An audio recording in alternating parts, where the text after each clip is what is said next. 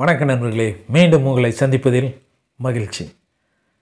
பொதுவாக நான் என்னுடைய வீடியோவில் இந்த சேனலில் பொதுவாக பேங்க்கை பற்றி சொன்னாலும் பேங்க் பற்றி மட்டும்தான் சொல்கிறேன் பேங்க்கை பற்றி சொன்னாலும் நேஷ்னலிஸ்ட் பேங்க்கை பற்றி மட்டும்தான் பேசுவேன். கவர்மெண்ட் பேங்க் பற்றி மட்டும்தான் பேசுவேன். ப்ரைவேட் பேங்க்கை பற்றி நான் அவ்வளோ பேச மாட்டேன். இதோ ரேராக ஒன்று ரெண்டு வீடியோ வந்திருக்கும் இல்லையா? மற்றபடி இந்த ப்ரைவேட் பேங்க்கை பற்றி எதுவும் நானும் பேச மாட்டேன். காரணம் என்னென்னா ப்ரைவேட் பேங்க் மேலே எனக்கு அவ்வளோ வந்து நம்பிக்கை இல்லை. அவங்க வந்து ஒரு உயர் வகுப்பினருக்கு மட்டும் சர்வீஸ் பண்ணுவாங்க. அதே மாதிரி பெரிய பிஸ்னஸ் மேனுங்களுக்கு மட்டும் சர்வீஸ் பண்ணுவாங்க. சாதாரண மக்களுக்கு அடித்தர மக்களுக்கு நடுத்தர மக்களுக்கெல்லாம் அவ்வளோ சர்வீஸ் பண்ண மாட்டாங்க அப்படின்றது என்னுடைய எண்ணம். ஸோ அதனால் நான் வந்து ப்ரைவேட் பேங்க்கை பற்றி கன்சிடர் பண்ண மாட்டேன். அதை பற்றி நான் கண்டுக்க மாட்டேன். அதை பற்றி எந்த விஷயத்தையும் நான் வீடியோவில் சொல்ல மாட்டேன். இன்றைக்கி ஒரு நண்பர்கள் கூட நான் அப்படியே ரோட்டில் போயிட்டுருந்தேன். ரெண்டு மூணு நண்பர்கள் கூட பேசிட்டு அப்படியே போயிட்டுருந்தேன். போயிட்டு இருக்கும்போது திடீர்னுட்டு ஒரு பக்கம் பார்க்கும்போது இந்த பக்கம் லெஃப்ட் சைடில் பார்க்கும்போது ஒரு ப்ரைவேட் பேங்க் இருந்துச்சு. நல்லா நீட்டாக இருந்துச்சு பார்க்கும்போது. எப்பயுமே ப்ரைவேட் பேங்க் அப்படி தானே வச்சுருப்பாங்க. நல்லா நீட்டாக தான் வச்சுருப்பாங்க. கவர்மெண்ட் பேங்க்கு தான் கசகசான்னு வச்சுருப்பாங்க. சந்திலையும் பொந்தலையும் வச்சுருப்பாங்க. ப்ரைவேட் பேங்கெல்லாம் நீட்டாக தான் வச்சுருப்பாங்க. அவங்க செலவு பண்ணி அட்ராக்ஷன் தான் அவங்களுக்கு முக்கியம். செலவு பண்ணி வச்சுருப்பாங்க. சரி நான் பார்த்தேன் அந்த ப்ரைவேட் பேங்க் பார்க்க இந்த பேங்க் இங்கே எங்கே வந்துச்சு அப்படின்ற ஃப்ரெண்டுகிட்ட கேட்டேன். இந்த பேங்க் நான் இதுவரை இங்கே பார்த்தது இல்லையா அப்படின்னு ஃப்ரெண்டுகிட்ட கேட்கும்போது இல்லை இப்போ சமீபத்தில் வச்சுருக்காங்க அப்படின்னு சொன்னார். சொன்னோடனே நான் என்ன பண்ணேன் சரி இந்த ப்ரைவேட் பேங்க் எப்படி ஒர்க் பண்ணுதுன்னு பார்க்கலாமான்னு கேட்டேன். ஏன் ஏன் உனக்கு எதுக்கு அந்த வேலை? அப்படின்னாங்க. இல்லை இல்லை அது எப்படி ஒர்க் பண்ணுறாங்க நல்லா சர்வீஸ் பண்ணுறாங்க என்னன்னு பார்த்தேன் தெரிஞ்சால் நம்ம சப்ஸ்கிரைப் சப்ஸ்கிரைபருக்கு அதை பற்றி விளக்கலாம் ஒரு வீடியோ போடலாம் அப்படின்றதுக்காக தான் அப்படின்ட்டு நான் என்னுடைய நண்பர்கள்ட்ட சொன்னேன். அவங்களுக்கு தெரியும் நான் வந்து இந்த சேனல் ரன் பண்ணிகிட்டு இருக்கிறது தெரியும். Bank A to Z channel run பண்ணிகிட்டு இருக்கிறது அவங்களுக்கு தெரியும். அதில் என்ன பண்ணாங்க சரி வா போகலாம் அப்படின்னு சொன்னாங்க. சென்ட்டு உள்ளே பேங்க்குள்ளே என்ட்ரு ஆனேன். என்ன பேங்க்ன்றது உங்களுக்கு நான் அப்புறம் சொல்கிறேன் அந்த ப்ரைவேட் பேங்க்குள்ளே என்ட்ரானேன் நானும் என் நண்பர்களும் உள்ளே போனோம். உள்ளே போனதும் இடது பக்கம் ஒரு ஆஃபீஸர் உட்காந்துருந்தார் அவர் உட்காந்துருந்துட்டு என்ன எங்களை பார்த்தோன்னே என்ன சார் வேணும் அப்படின்னு கேட்டார். நான் என்ன பண்ணேன் இந்த மாதிரி ஒரு அக்கௌண்ட் ஓப்பன் பண்ணேன் சார் எஸ்பிஐ அக்கௌண்ட் அதுக்கு என்னென்ன டாக்குமெண்ட் வேணும்? அது சொன்னீங்கன்னா நான் அதை ப்ரிப்பேர் பண்ணி கொண்டு வருவேன் அப்படின்னு சொன்னேன். அவர் அதெல்லாம் ஒன்றும் தேவையில்லைங்க சார். உங்களுக்கு ஆதார் கார்டு இருந்தால் போதும் பேன் கார்டு இருந்தால் போதும் சார். ஓப்பன் பண்ணிக்கலாம் சார் அப்படின்னாங்க சார் இல்லை அப்ளிகேஷன் கேட்குறதுக்காக வந்தேன் சார் அப்படின்னா அதெல்லாம் ஒன்றும் தேவையில்ல சார். அப்படியே பண்ணிக்கலாம் சார். நான் அப்ளிகேஷன் வாங்கி ஃபில்அப் பண்ணிட்டு அதெல்லாம் ஏன் டைம் வேஸ்ட் பண்ணிவிட்டு டக்கு உங்ககிட்ட அது அது ரெண்டு மட்டும் இருந்தால் சொல்லுங்கள் சார். டக்குன்னு ஓப்பன் பண்ணிடலாம் அப்படின்னாரு.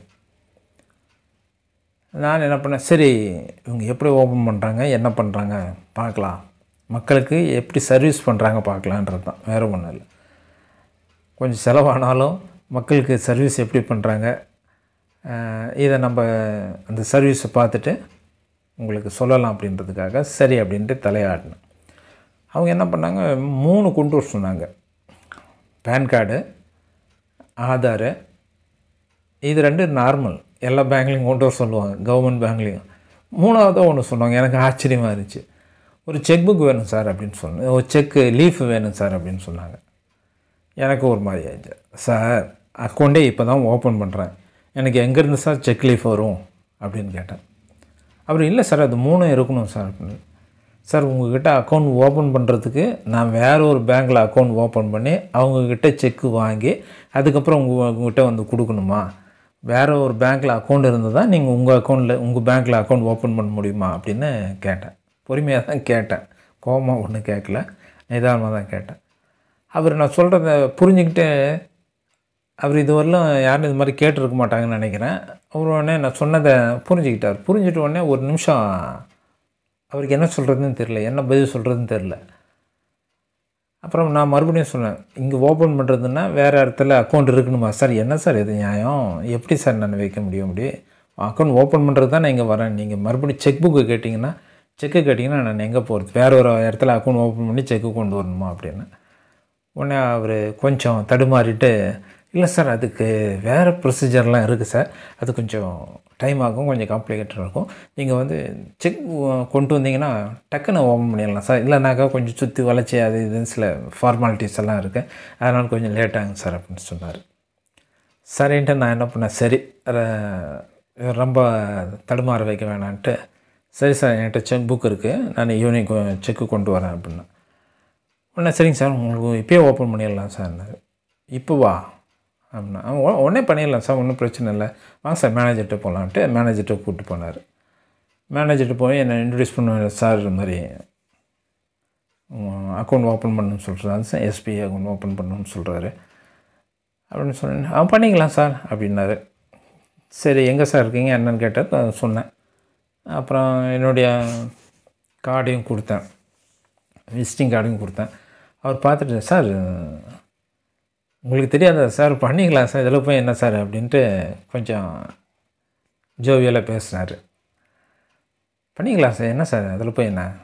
இப்போ பண்ணிக்கலாம் தம்பி சாருக்கு ஒரு அக்கௌண்ட் ஓப்பன் பண்ணிடுறேன்ட்டு பக்கத்தில் இருந்த இன்னொரு ஸ்டாஃப் கிட்ட சொன்னார்.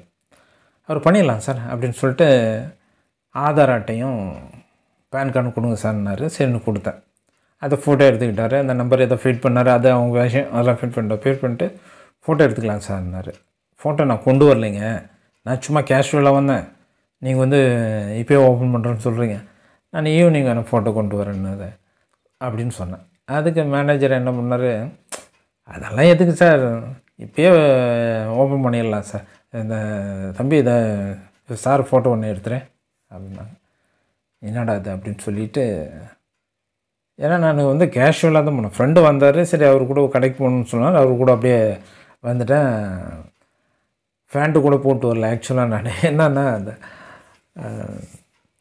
இந்த கேஷுவல் பேண்ட்டு தான் போட்டுட்டு வந்தேன்.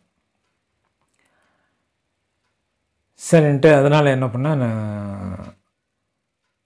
இல்லை சார் நான் ட்ரிம் கூட பண்ணலை தாடியை ட்ரிம் கூட பண்ணலை அப்படியே வந்துட்டேன் நான். தலை சீவில் ஒன்றும் இல்லை அது மாதிரி அப்படியே சும்மா க கையில் கோதிட்டு வந்துட்டேன். அதனால் நான் ஈவினிங் நான் கொண்டு வரேன் சார் அப்போ பண்ணிக்கலாம் சார் அப்படின்னு சொன்னேன். அதுக்கு அந்த மேனேஜர் என்ன சொன்னார் என்ன சார் இதில் போய் என்ன இருக்குது ஃபோட்டோ வேணால் நம்ம வெளியிலே ஓட்ட போகிறோம் ஃபோட்டோ டாக்குமெண்ட்டில் தானே இருக்க போகுது. ரெக்கார்டில் தானே இருக்க போகுது. உங்களுக்கு வேணால் நீங்கள் பாஸ்புக்கில் ஓட்டுறத வேணால் நல்ல ஃபோட்டோவாக ஒட்டிக்கிங்க சார். இதில் தேவையில்லை சார் விடுங்க சார் டாக்குமெண்ட்டில் தான் இருக்குது யார் போய் பார்க்க போகிறாங்க அப்படின்னாரு. சரி இவ்வளோ சொல்கிறாங்களே அப்படின்ட்டு சரி எடுத்துங்க சார் ஃபோட்டோ அப்படின்னு சொல்லிட்டு ஃபோட்டோ எடுத்தேன். ஃபோட்டோ எடுத்து எடுத்துக்க சமைச்சேன். அவங்களும் ஃபோட்டோ எடுத்துனாங்க. எடுத்து முடிச்சோடனே சரிங்க சார் போகலாம் சார் நான். எங்கே சார் போகலாம் ஈவினிங் நான் கொண்டு வந்து கொடுக்குறேன் சார் செக் புக்கு செக்கு அப்படின்னு. இல்லை சார் நீங்கள் ஏன் சார் அலையிறீங்க? வேணா. அவர் ஸ்டாஃப் அனுப்புகிறேன் தம்பி சார் கூட போயிட்டு அவர் வீட்டுக்கு போயிட்டு செக் புக் வாங்கிட்டு வந்துடு அப்படின்னு சொன்னார். அவர் ஏன் சொல்கிறாருன்னு எனக்கு தெரியும். அவர் வந்து எனக்கு ஹெல்ப் பண்ணுறதுக்காக சொல்லலை. அவர் ஆக்சுவலாக நான் வீட்டில் என்னுடைய வீடை வந்து அவர் ஐடென்டிஃபை பண்ணணும் அப்படின்றதுக்காக அப்படி சொல்கிறார் என் டைரெக்டாக சொல்கிறதுக்கு பதில் அது இன்டைரக்டாக சொல்கிறார் அவர் வீட்டுக்கு வந்தாக்க ஐடென்டிஃபை பண்ணிடலாம் இல்லையா? அவர் இங்கே தான் குடியிருக்கார் அப்படின்ற ஐடென்டிஃபை பண்ணிடலாம் இல்லையா? அந்த அட்ரஸும் நான் கொடுத்த அட்ரஸும் எதுவும் சரியாக தான் இருக்குதுன்னு பண்ணலாம் இல்லையா? அதனால அவர் அந்த ஸ்டாஃப்கிட்ட அப்படி சொன்னார். நமக்கு எல்லாம் தெரியும் தெரியாமல் இல்லை. இருந்தாலும் அதை நம்ம ஒன்று வெளி வெளிக்காட்டிக்காமல் சரி சார் வரட்டும். அதனால் ஒன்றும் இல்லை. அவர்கிட்ட நான் செக் புக்கு செக்கு கொடுத்து அனுப்பிச்சிட்றேன் அப்படின்னு சொன்னேன்.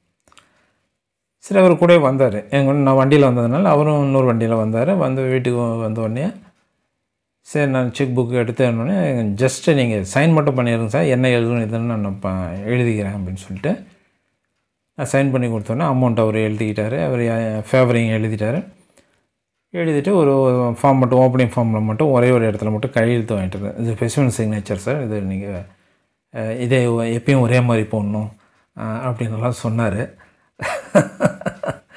நாம் எல்லாத்துட்டும் சொல்லி கொடுத்துட்டு இருக்கோம். அவர் நமக்கு சொன்னார். கொஞ்சம் சிரிப்பாக தான் இருந்தது. இருந்தாலும் நம்முடைய இதை சொல்லக்கூடாது இல்லையா? நம்முடைய நமக்கு தெரிஞ்சதெல்லாம் சொல்ல சொல்லவும் கூடாது. ஏன்னா அவர் தான் அங்கே ஆஃபீஸர் நான் அங்கே வந்து கஸ்டமர் தான். அதனால் நான் வந்து எனக்கு எல்லாம் தெரியும்லாம் நம்ம சொல்லக்கூடாது. அதனால் சரி சார் எங்கே கையெழுத்து போடணும்னு சொல்லுங்கள் போடுறேன் அப்படின்னு சொன்னேன் அவரும் வாங்கிட்டார். வாங்கிட்டு அதுக்கப்புறம் செக் புக்கை வாங்கிட்டு செக் லீஃப் வாங்கிட்டு சரி சார் நான் நாளைக்கு வந்து உங்களுக்கு இன்டர்நெட் பேங்கிங் பற்றி சொல்லிக் கொடுக்குறேன் சார் அப்படின்னாரு. இந்த அக்கௌண்ட் வந்து நான் இப்போ ஆஃபீஸ் போயிட்டு தான் சார் ஆக்டிவேட் பண்ணணும். அக்கௌண்ட் நம்பர் இங்கே இருக்குது பாருங்கள் இதுதான் உங்கள் அக்கௌண்ட் நம்பர் ஷிஃப்ட் நம்பர் எல்லாம் சொன்னார். அது எப்படி சார் நீங்கள் அக்கௌண்ட்டே ஓப்பன் பண்ணல எப்படி அக்கௌண்ட் நம்பர் வந்துடும் உங்களுக்கு அப்படின்னு கேட்டேன் இல்லை சார் ஏற்கனவே அக்கௌண்ட்லாம் ஓப்பன் பண்ணி வச்சுருப்பாங்க கிட்டு வச்சுருப்பாங்க. ஒவ்வொருத்தங்களுக்கும் ஒரு கிட்டு இப்போ நீங்கள் வந்தோடனே உங்களுக்கு உங்கள் டீட்டெயில்ஸ் அங்கே எடுத்துட்டோம் இல்லையா? அந்த உங்களுக்குன்னு ஒரு கிட்டு எடுத்துகிட்டு வரோம். அதில் என்ன அக்கௌண்ட் நம்பர் இருக்குதோ அந்த அக்கௌண்ட் நம்பர் தான் உங்களுக்கு. அங்கே போன உடனே அந்த அக்கௌண்ட் நம்பரையும் உங்களுடைய டீட்டெயில்ஸும் நாங்கள் லிங்க் பண்ணிடுவோம் கம்ப்யூட்டரில் லிங்க் பண்ணிடுவோம் அது உங்களுடைய அக்கௌண்ட்டோட லிங்க் ஆகிரும் அப்படி உங்கள் டீட்டெயில் லிங்க் ஆகிரும் அப்படின்னு சொன்னார். ஓகே ரைட்டு அவங்க ப்ரொசீஜர் தெரிஞ்சதுக்காக நான் சொன்னேன். ஓகே ரைட்டு விட்டு நாளைக்கு வரேன் சார். நாளைக்கு வந்து உங்களுக்கு இன்டர்நெட் பேங்கிங் பற்றி சொல்லிக் கொடுக்குறேன் சார் அப்படின்னு சொன்னார். அவ்வளோ பாவிங்களா ஊருக்கெல்லாம் நான் சொல்லி கொடுத்துட்ருக்கேன் நீங்கள் எனக்கு இன்டர்நெட் பேங்கிங் சொல்லி கொடுக்குறீங்களா அப்படின்னு நினச்சிட்டு. சரி வாங்க. நாளைக்கு வாங்க அப்படின்னா அவரும் ரொம்ப சந்தோஷமாக சரி சார் நாளைக்கு வரேன்னு சொல்லிட்டு போயிருக்கிறாரு. ஸோ இதெல்லாம் ஒரு பதினஞ்சு நிமிஷத்தில் முடிஞ்சுன்னு வச்சிங்களேன். ஒரு டென் மினிட்ஸ் அங்கே பேங்க்கில் இருந்தது. ஃபோட்டோ எடுத்துக்கிட்டு அந்த ஏடிஎம் கார்டு ஃபோட்டோ எடுத்துக்கிட்டு ஆதார் ஃபோட்டோ எடுத்து அதை அவங்க ஃபீட் பண்ணிட்டு லிங்க் பண்ணிட்டு என்ன பண்ணிகிட்டு இருந்தாங்க. எல்லாம் ரைட் அதுக்கு ஒரு டென் மினிட்ஸ் ஆகிருக்கும் அப்புறம் எங்கள் வீட்டில் வந்தோடனே ஒரு செக் புக் வாங்கிட்டு அவங்க அதை ஃபில்அப் பண்ணிட்டு ஒரு கையெழுத்து வாங்கிட்டு போகிறதுக்கு ஒரு ஃபைவ் மினிட்ஸ் ஆகிருக்கும் டோட்டலாக ஒரு ஃபிஃப்டீன் மினிட்ஸ் தான். அப்போ பார்க்கும்போது பரவாயில்லையே இவ்வளோ சீக்கிரம் ஓப்பன் பண்ணி கொடுத்துட்டாங்களேன்றது எனக்கு கொஞ்சம் ஆச்சரியமாக தான் இருந்துச்சு. பொதுவாக ம ஸ்டாஃப் மக்கள்கிட்ட என்ன ஒரு எண்ணம் இருக்குன்னா இந்த இருக்குதுன்னா பொதுவாக மக்கள்கிட்ட என்ன இருக்குன்னா இந்த மாதிரி ப்ரைவேட் பேங்க்கெல்லாம் வசதியானவங்களுக்கு மட்டும்தான் பணக்காரங்களுக்கு மட்டும்தான் பிஸ்னஸ் மேன்களுக்கு மட்டும்தான் அப்படி இருக்கும். சாதாரண மக்களுக்கெல்லாம் இருக்காது. நடுத்தர மக்களுக்கும் கீழ் தர மக்களுக்கும் கீழ்த்தர மக்கள்லாம் அப்படி இதில் சொல்லுறேன் நான் வசதி குறைவாக இருக்கிற மக்களுக்கெல்லாம் வந்து அடித்தட்டு மக்களுக்கெல்லாம் இவங்க ஒன்றும் சர்வீஸ் பண்ண மாட்டாங்க அப்படின்னு தான் நினச்சிருந்தேன். பட் வந்து இன்றைக்கி நான் ஆக்சுவலாக இவங்க என்ன பண்ணுறாங்கன்றதுக்காக தான் நான் அக்கௌண்ட் ஓப்பன் பண்ணது.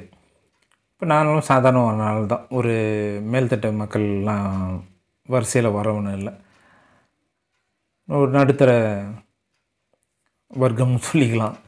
நடுத்தரமானவங்க தான் ஸோ அதனால் இவங்க எப்படி அப்ரோச் பண்ணுறாங்க வசதியாக இருக்கிறவங்களுக்கு மட்டும்தான் அப்ரோச் பண்ணுறாங்களா மற்றதான் வந்து அப்ரோச் பண்ணுறாங்க நல்லா அப்ரோச் பண்ணுறாங்களா மரியாதை எப்படி கொடுக்குறாங்க ப்ரைவேட்டில் நல்லா செஞ்சு கொடுக்குறாங்களா? விரைவாக செஞ்சு கொடுக்குறாங்களா? அப்படின்றதுக்காக தான் அந்த அக்கௌண்ட்டே ஓப்பன் பண்ணேன். இப்போ எனக்கு அது பத்தாயிரரூபா வேஸ்ட் உங்களுக்காக இந்த அக்கௌண்ட் ஓப்பன் பண்ணுறதுக்கு இந்த பரிசோதிக்கிறதுக்காகவே இந்த அக்கௌண்ட் ஓப்பன் பண்ணால் பத்தாயிரரூபா டெபாசிட் கட்டியிருக்கேன். வேஸ்ட் ஆகலைன்னு வச்சிங்க அது ஒரு அக்கௌண்ட்டில் தான் இருக்குது வேஸ்ட் ஆகலை இருந்தாலும் சொல்கிறேன் அந்த அமௌண்ட் இப்போ எனக்கு அதை எடுக்க முடியாது இல்லையா? அது அங்கேயே தானே அப்படி இருக்கும். அதுக்காக இந்த வீடியோ போடுறதுக்குன்னா அதுக்காகவே தான் நான் இந்த அக்கௌண்ட் ஓப்பன் பண்ணேன். ப்ரைவேட் பேங்க்கில் சாதாரண ஆளுங்க போய் அக்கௌண்ட் ஓப்பன் பண்ணால் எப்படி பிஹேவ் பண்ணுறாங்க எவ்வளோ நேரத்துக்கு அக்கௌண்ட் ஓப்பன் பண்ணுறாங்க ஒழுங்காக மரியாதை கொடுப்பாங்களா? இல்லை அலட்சியமாக நடந்துக்குவாங்களா? என்ன அப்படின்னு தெரி தெரிஞ்சுக்கிட்டு உங்களுக்கு அதை கன்வே பண்ணணும் அப்படின்றதுக்கு ஒரே காரணத்துக்காக தான் இன்றைக்கி நான் அக்கௌண்ட் ஓப்பன் பண்ணேன். என்னை பொறுத்தவரை என்ன என்ன என்னுடைய அனுபவத்தை பொறுத்தவரைக்கும் திருப்தியாக இருந்துச்சு. ஒரு பதினஞ்சு நிமிஷத்தில் அக்கௌண்ட் ஓப்பன் பண்ணிட்டாங்க. இது அவங்களுக்கு அட்வர்டைஸ்மெண்ட் இல்லை. ஏன்னா பேரே சொல்ல இல்லையா? அதனால் அவங்க அட்வர்டைஸ்மெண்ட்டுன்னு நினச்சிக்காதீங்க. அது பே இதெல்லாம் இல்லை. அப்படியெல்லாம் நினச்சிக்காதீங்க. ப்ரைவேட் பேங்க் மேலே இருந்த ஒரு அபிப்பிராயம் கொஞ்சம் மாறி இருக்கு எனக்கு. ஆனால் முழுசும் மாறல. காரணம் என்னென்னா அவங்க என்ன சார்ஜ் பண்ணுறாங்க சர்வீஸ் சரியாக பண்ணியே தான் இருக்கிறாங்க. ரைட்டு உங்கள் சார்ஜ் எல்லாம் எப்படி பண்ணுவாங்க? எக்ஸ்ட்ரா சார்ஜ் பண்ணுவாங்களா? இல்லை மற்ற பேங்க் மாதிரி தான் சார்ஜ் பண்ணுவாங்களா? இது எல்லாம் தெரிஞ்சிட்டு பிறகு தான் அவங்க மேலே நம்ம முழு நம்பிக்கையும் முழு ஏன் ஒரு நல்ல எண்ணமும் வரும். சரி பார்க்கலாம். என்னென்னு பார்க்கலாம். இன்றைக்கி இப்போ இன்னைக்கு பொறுத்தவரை அக்கௌண்ட்டு சீக்கிரமாக ஓப்பன் பண்ணி கொடுத்தாங்க. நல்ல மரியாதை கொடுத்தாங்க. அதுக்கு சந்தோஷம். இனிமேல் என்ன பண்ணுறாங்கன்னு பார்த்துட்டு மறுபடியும் ஒரு வீடியோ போடுறேன். அதுக்கு மேலே நம்ம வந்து ரெக்கமெண்ட் பண்ணலாம். சப்போஸ் நீங்கள் பக்கத்தில் ப்ரைவேட் பேங்க் இருந்தாலும் நீங்கள் ஓப்பன் பண்ணிங்க அப்படின்ட்டு தைரியமாக சொல்லலாம். இப்போ என்னால் சொல்ல முடியல. ஏன்னா ப்ரைவேட் பேங்க்னாவே ஒரு சாதாரண மக்கள்லாம் போக மாட்டாங்க அப்படின்ற எண்ணம் இருக்குது போக மாட்டாங்க தான். போகிறதில்ல அது. எனக்கு நல்லா தெரியும். ஸோ அதை உடைக்கிறதுக்காக உண்மை என்னன்னு தெரிஞ்சுக்கிறதுக்காக தான் நீ நான் அக்கௌண்ட் ஓப்பன் பண்ணியிருக்கேன். முழுசாக தெரிஞ்சுக்கிட்டு அவங்க அந்த இன்டர்நெட் பேங்கிங் சொல்லி கொடுக்குறாங்கன்னாரு இல்லையா? வந்து சொல்லி கொடுத்து என்ன பண்ணுறாங்க ஏது பண்ணுறாங்கன்னு பார்த்துட்டு அதுக்கப்புறம் நான் உங்களுக்கு இன்னொரு வீடியோ போட்டேன் அந்த வீடியோவில் முழுமையாக இந்த பேங்க்கு நம்ம இந்த பேங்க்கெல்லாம் நம்பலாமா? ப்ரைவேட் பேங்க்கை ப்ரைவேட் பேங்க் நமக்கு சர்வீஸ் ஒழுங்காக பண்ணுவாங்களா? நம்ம ஒழுங்காக மதிப்பாங்களா? போனால் கேர் பண்ணுவாங்களா? என்ன அப்படின்றத நம்ம பார்த்து தெரிஞ்சுக்கலாம். அது வரையும் கொஞ்சம் இடைவெளி விடலாம். இந்த வீடியோ உங்களுக்கு பிடிச்சிருக்குன்னு நினைக்கிறேன். கொஞ்சம் லென்த்தாக போயிடுச்சுன்னு நினைக்கிறேன். கொஞ்சம் ஸ்பீச் கொடுக்குற மாதிரி லென்த்தாக போயிடுச்சு வேறு வழி இல்லை. அந்த விஷயத்தையெல்லாம் சொல்ல வேண்டியதாக இருந்துச்சு. அதனால் கொஞ்சம் பெருசாக போயிடுச்சு இந்த வீடியோ உங்களுக்கு பிடிச்சிருந்தா இந்த வீடியோவை லைக் பண்ணுங்கள் ஷேர் பண்ணுங்கள் சப்ஸ்கிரைப் பண்ணுங்கள் நன்றி. வணக்கம்.